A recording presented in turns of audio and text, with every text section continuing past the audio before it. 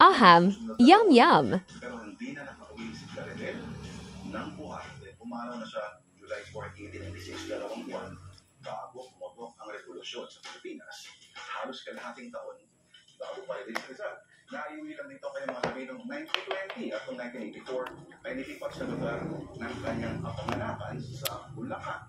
Ngayon, si Del Pilar ang unofficial na santong patron ng mga taga-media. Kaya award ng UP Mascom para sa natatanging media practitioners ay tinawag na Gawad Plaridel. Kaya sa lahat, isang maligayang araw ni Plaridel. Oh, pero, alam niyo rin ba na noong Abril lang, noon, sa bisa ng Republic Act 11699 ay dineklara ng Malacanang at 30 ng Agosto bilang National Press Freedom Day. At ang pumirma niya ay walang iba, kundi ang tunay na kampiyon ng malayang pamamahayag. Sample.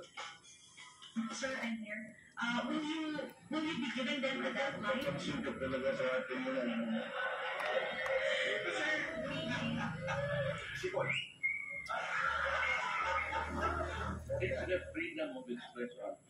Ah, ah, o- audio lang talaga yun, ano? Mm-hmm. Ayan, mag-replay siya ngayon. At i-realize to rin ngayon. May respeto na na.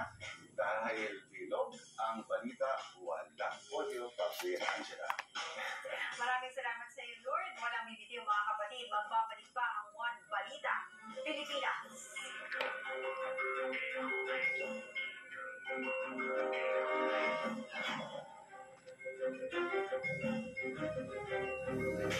Life goes by fast. Make sure